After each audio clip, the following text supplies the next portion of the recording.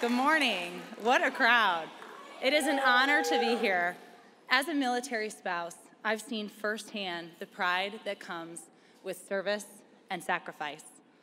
We have known and lost great heroes that we considered friends. Our military and our families are strong and resilient and all of those things, and we're also human beings. We've mourned with mothers who have lost their sons. We've grieved with wives who have received the knock that we pray we never get. We've watched toddlers kiss their mommies farewell as they head onto a ship for an unknown amount of time.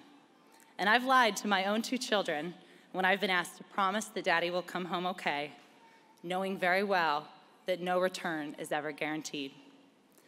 The fact is, we are still very much a nation at war. And we need leadership to run our country who will be calm under pressure, measured in their responses, and who have consistently demonstrated integrity in their decision making so that our military families, our soldiers, our coasties, Marines, Guardsmen, Airmen, and our sailors are seen as human beings, as mommies and daddies, as brothers and sisters, as friends, not political pawns. We need leadership to build bridges on the world stage, not to escalate conflicts via Twitter. We need leaders who will fight for diplomacy and democracy and who believe with their very beings that America is already great. I believe.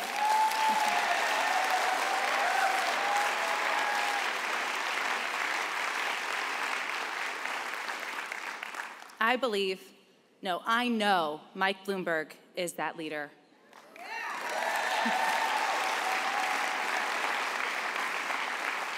He is calm, measured, and full of integrity.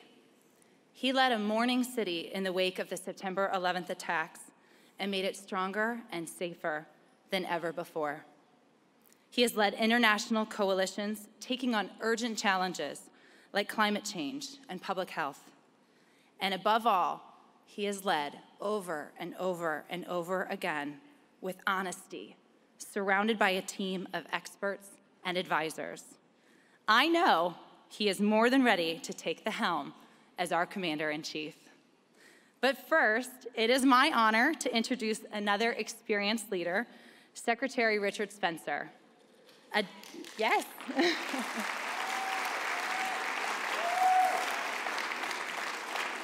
a decorated Marine, former Secretary of the Navy and acting Secretary of Defense. He is also a savvy businessman, an excellent judge of character, and a good friend. Please join me in welcoming Secretary Spencer to the stage.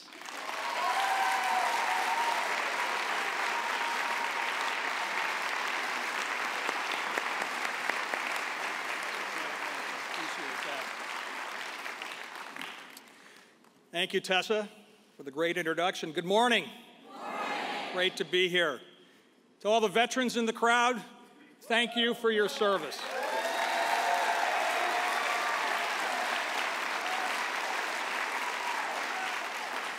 To all of you Vietnam vets, welcome home.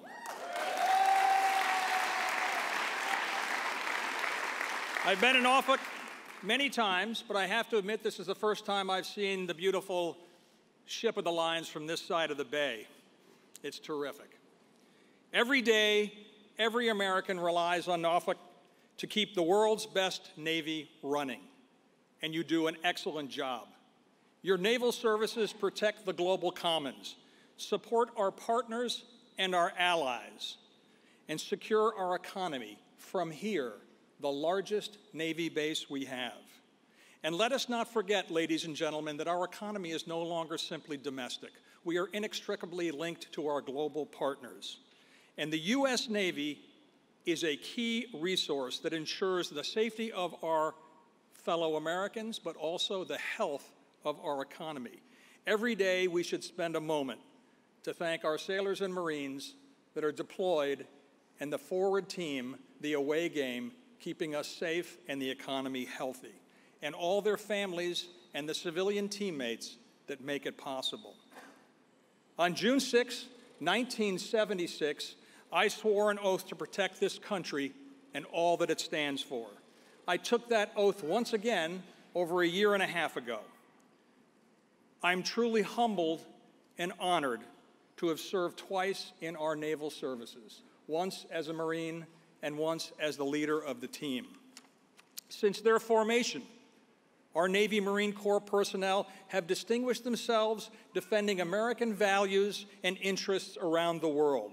Their honor, courage, and commitment are tenets that define them as professionals, respected around the world for their dedication and their integrity.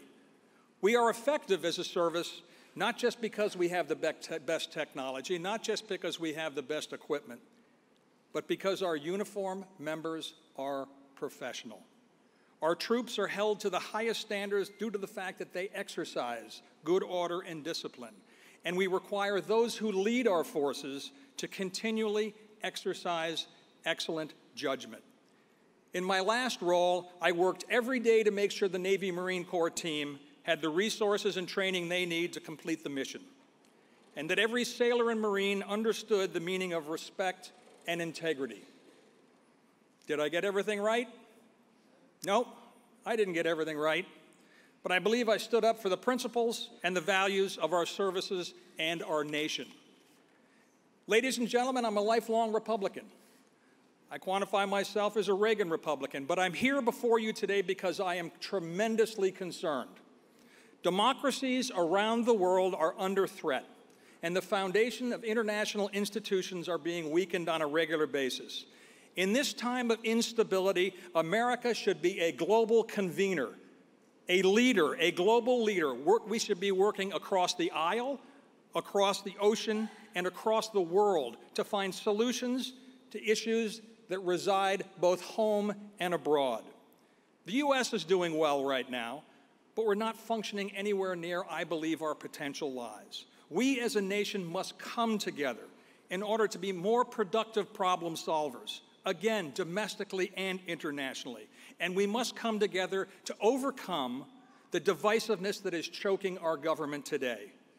Operating relationship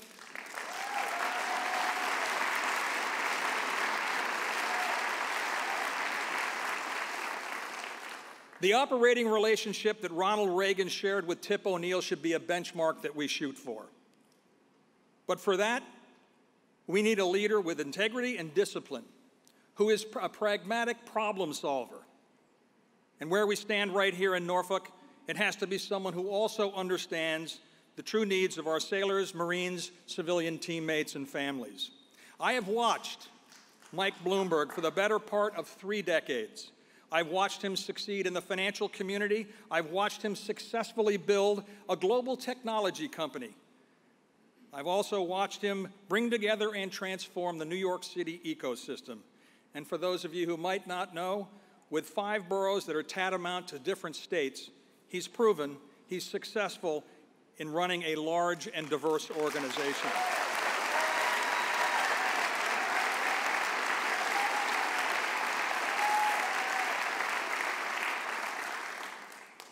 As a mayor, a businessman, and through his philanthropic work, he has proven his support for our troops and our veterans through his robust initiatives and policies that he has authored. I don't care if you're a Republican, you're a Democrat, or independent. If we are to sustain this experiment that we call democracy, America needs the best leader available. A leader who understands the complexities of today's world, both foreign and domestic. A leader who can articulate, implement his strategy while having a steady hand on the wheel.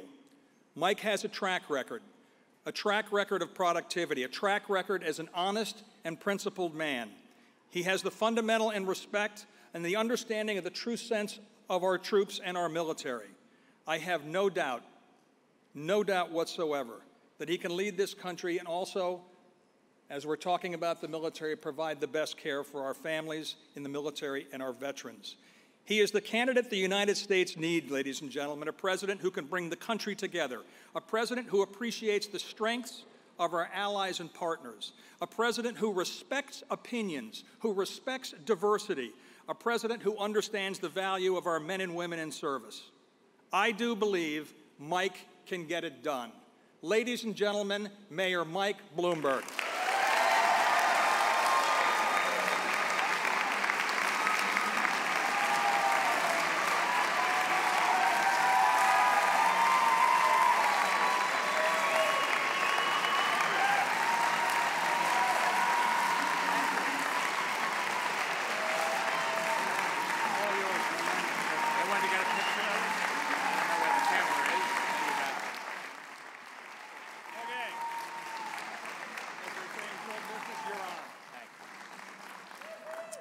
Please. Well, uh, thank, thank you. Um, it's the first time somebody's done that. Thank you. Uh, thank you, Secretary Spencer, and for your service and your leadership and your integrity.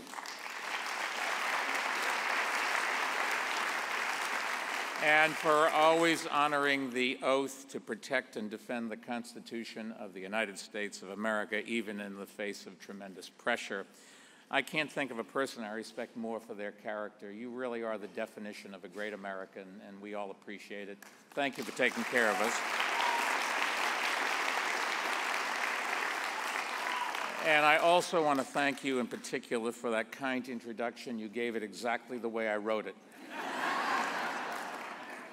Uh, let me all thank uh, Tessa Robinson. Uh, Tessa, thank you for her words and for all her advocacy on behalf of veterans and military families around this country. And also Mayor Alexander for his good work here and for welcoming us to his great city.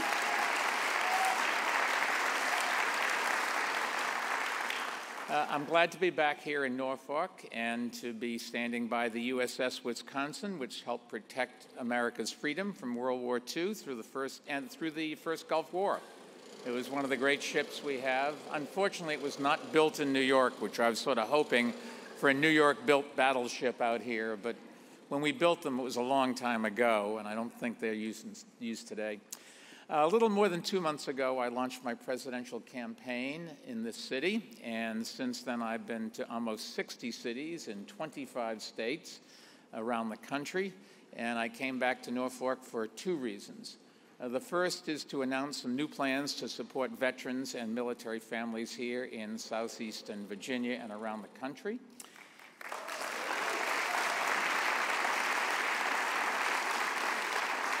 Uh, I won't get into the all of the details, but you can rest assured that our administration will help more veterans launch small businesses.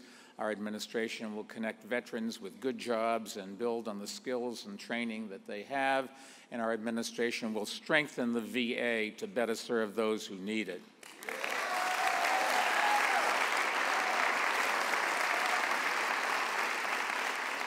One of the things we're also going to do is make sure that we help veterans build more wealth and successful careers after service and strengthening health care and mental care and reproductive health care and affordable child care for veterans and service members.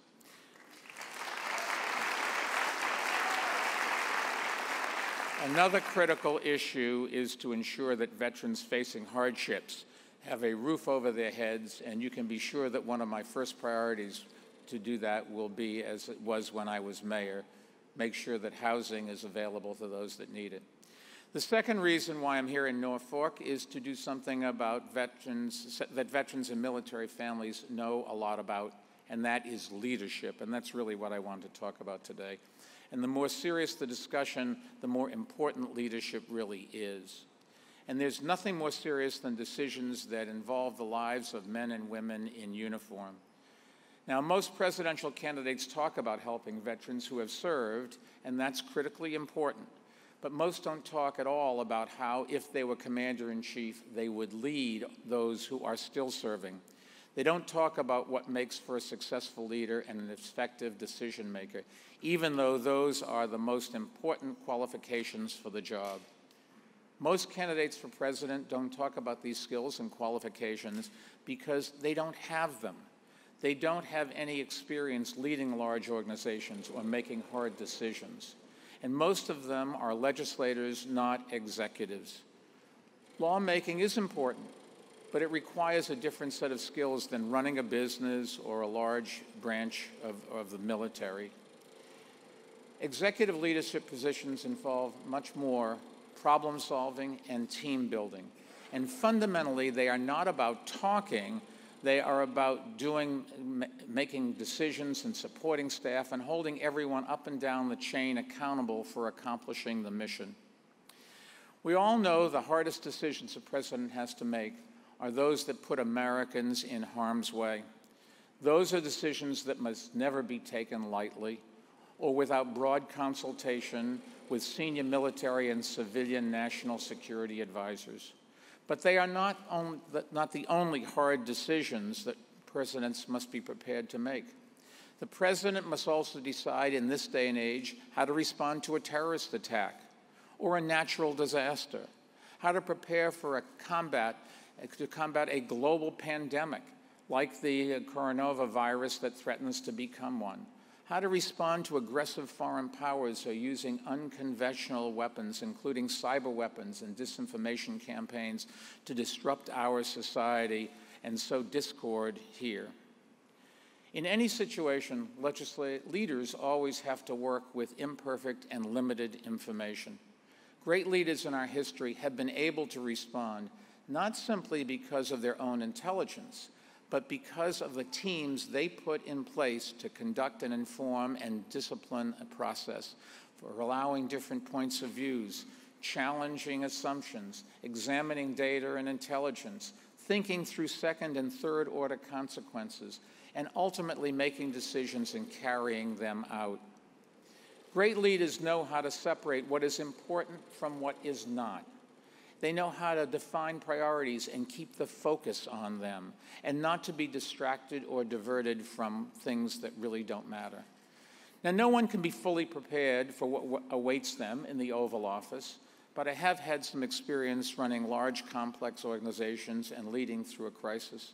As mayor of New York City, I oversaw a workforce of 300,000 people, and I was elected just weeks after the terrorist attacks of 9 11. People were still mourning. Our city was in tatters and our economy was in recession. Many people thought New York's best days were behind it. But I'm happy to say we came together. We consulted widely, we hired a diverse, talented, and experienced staff, and we developed strategies to rebuild the city while also working to stop any future attacks.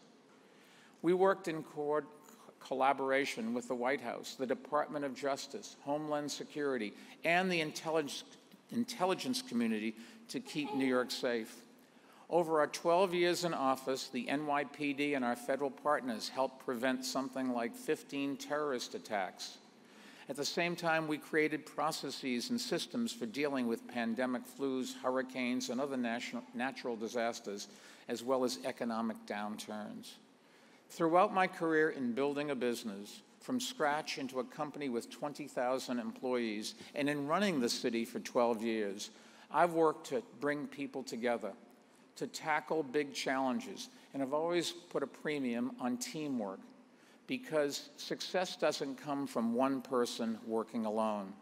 Success comes from building a team, making informed decisions, and then getting everyone to work together and row in the same direction.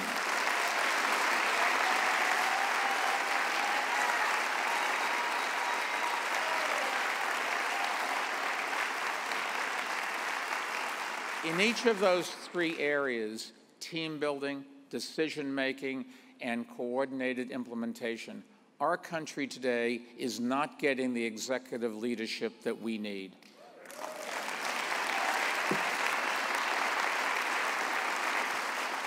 So I'd like to try to explain how I will be a different kind of leader in each of those areas. Let's start with team building, and I'll just tell you a quick story. Ever since FDR, reporters have written stories about elected officials' first 100 days in office. They're obsessed with it. Usually those are just a list of a laundry list of accomplishments. After my first few months in office, reporters wanted to write a 100-day story about our administration. And they asked me, what have you accomplished? And my answer was, we built a team. And they said, yeah, but what did you accomplish? I said, no, no, we built a team. The reporters just could not wrap their heads around why I thought there was, that was an important accomplishment. But the fact is, the team we built over 100 days makes possible every single thing we accomplished over the next 11 years. Now, our current president takes a different view of things. He thinks he alone has the answers and his ego does not leave room for the concept of team. Near the end of his first year, he was supposedly asked about the large number of unfilled posts in the State Department. His answer was, I'm the only one that matters. I spell the word team with four letters T E A M. He spells it with one letter I. When he accepted his nomination at the Republican convention, he painted a picture of America as a lawless hellscape and said, quote, I alone can fix it, end quote. A real leader would never say those things. It's what's called a cult leader that would say.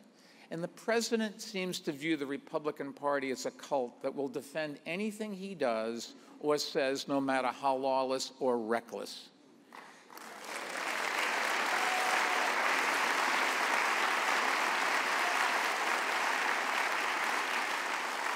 He seems to view our international allies the same way, not as partners, but as lackeys who must bend to his will or face the consequences. International partnerships are crucial to America's ability to achieve strategic goals for our security and our economy and in every other important area.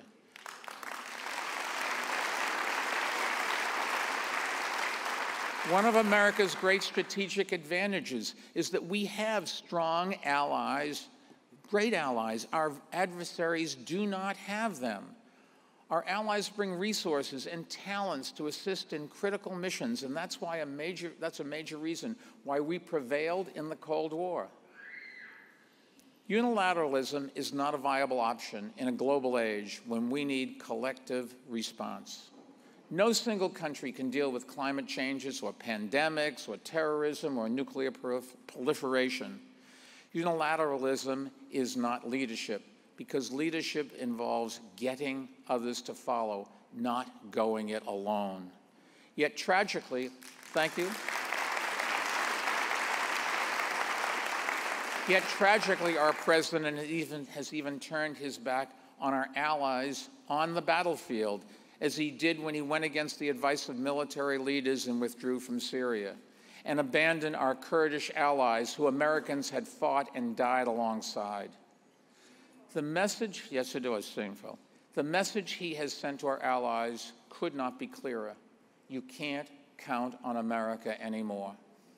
Our friends should always know, however, that they can count on us to have their backs but the sort of unpredictability we are seeing increases the odds others will see nuclear weapons as essential for their security, or they will simply appease a more powerful neighbor. It is hard to imagine a more dangerous trend, and we cannot let it continue.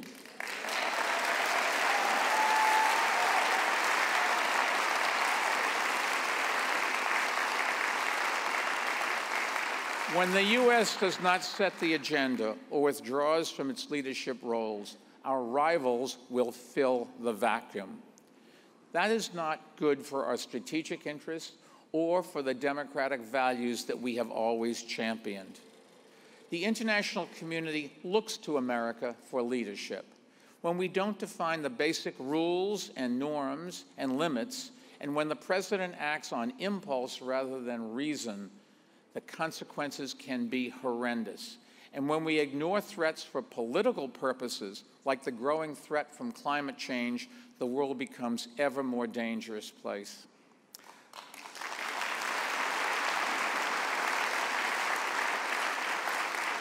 A climate change denier is incapable of seeing the national security dimensions of the issues more refugees, more conflict, over water, more potential for spread of diseases, all of which deeply affect our military who must deal with these issues every single day.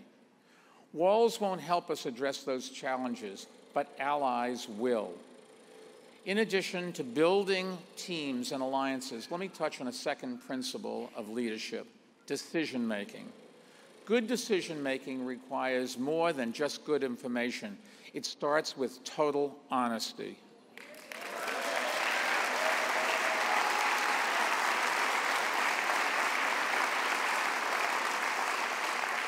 It is essential to have people who will tell the emperor that he or she is not wearing clothes and who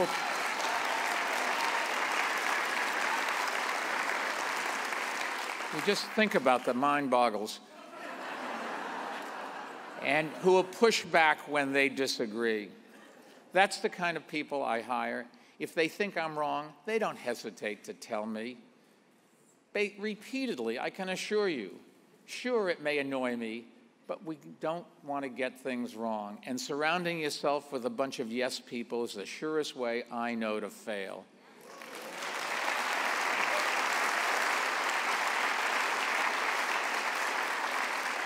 My team that's been with me for 15 plus years now knows that not backing down won't cost them their jobs. Quite the contrary, I'll respect them more for it as the day goes on.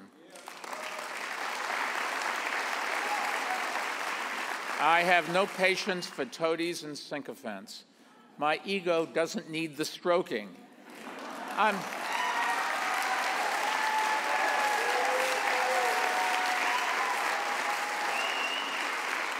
I hate to break this to you, but I'm not insecure about who I am. And I'm comfortable with people disagreeing with, with me and telling me so. After all, I have two daughters. What do you expect? I will hear from both of them over that remark. But dare disagree with President Trump, and he can call you a member of the deep state or fake news, and he'll bring up some other dangerous conspiracy theory. Or more likely, he'll just subject you to insults and name calling. He does that even with war heroes, like my good friend and, great, and a great American hero, the late John McCain, a graduate of our wonderful Naval Academy.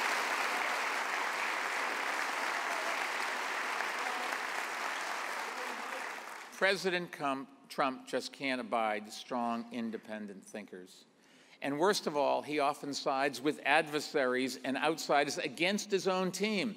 When the president places more faith in what he is told by Vladimir Putin than by his own director of national intelligence, that's a prescription for disaster.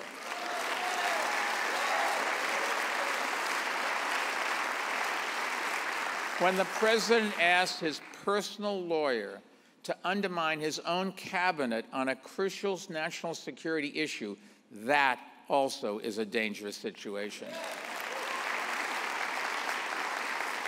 We should expect presidents to build strong teams with diverse backgrounds and differing opinions. And we should ex expect presidents to listen to them and to weigh their advice and guidance before making decisions. But once all the arguments have been made and the president makes a decision, it is imperative that he or she have the skills to implement the decision and achieve the mission. That requires steady leadership. But the Trump administration has been rife with chaos and infighting and personnel turnover and information leaks. Plans get tweeted out before the agencies responsible for implementing, implementing them are even know about them. And in some cases, senior members of the administration have actually been fired over Twitter. And that includes a Secretary of State, a Director of Homeland Security, and a top national security advisor. You can't make this up, folks. the president's firing by Twitter and his wildest rantings on Twitter, I think, encapsulate the lack of discipline that he brings to the job of commander in chief. Decision making requires a disciplined process, disciplined thinking, and disciplined analysis. When the commander in chief has no discipline, those who serve in the military are put at risk, and we cannot accept that.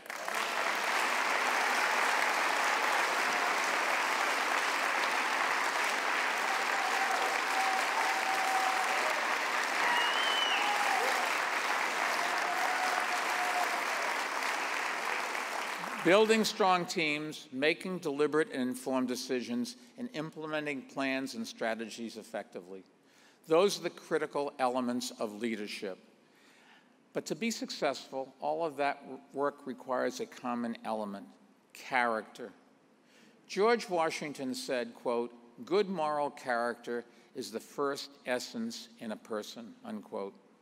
All of our great presidents understood that all have viewed honor and integrity as hallmarks of their lives and their presidencies. The Commander in Chief leads America, and America still leads the world. The,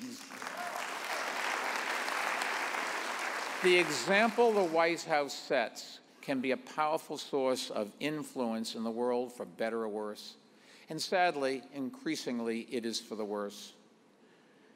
It's in a dangerous and unpredictable world. We need steady and dependable leadership in the White House. We need a leader who will respect facts and data and accept advice.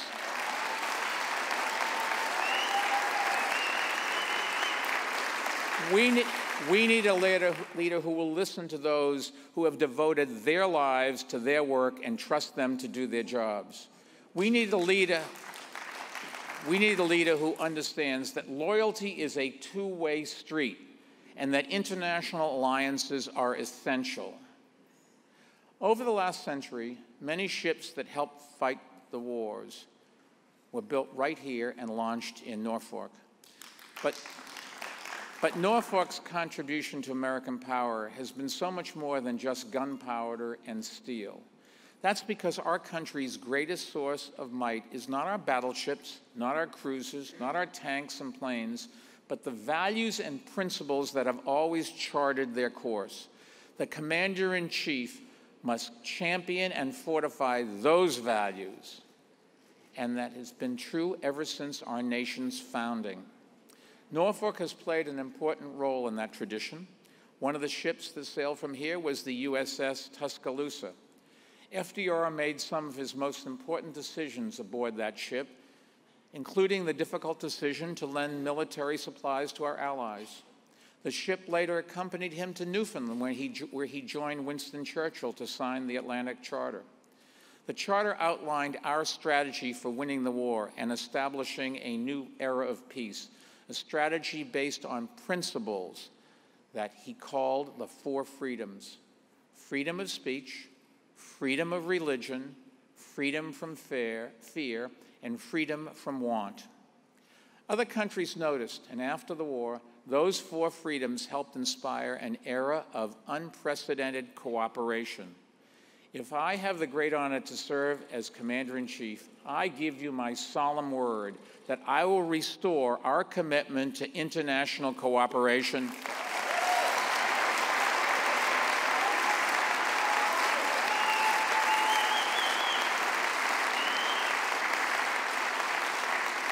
And to the four freedoms that brought nations together after the worst global conflict in history.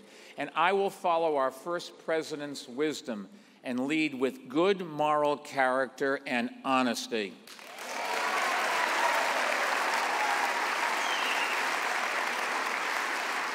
I, I can't begin to express the admiration I have for the men and women who put their lives on the line to defend our freedoms. And I can't begin to express my gratitude to their families. I hope I can win your support. I can just promise you this you will always have mine. Thank you, and God bless.